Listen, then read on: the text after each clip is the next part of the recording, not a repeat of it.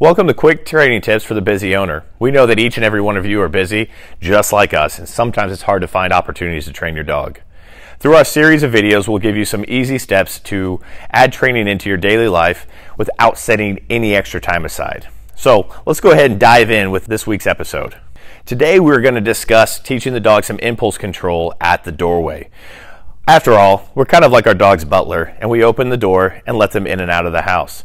So let's go ahead and teach them some doorway manners. This is a very easy process. You'll simply start off by standing in between, placing yourself in between the dog and the doorway. Ask your dog for a sit, give him an open palm for a wait, and then at that point, start to open the door. If the dog gets up and tries to let themselves out, simply say oops and shut the door.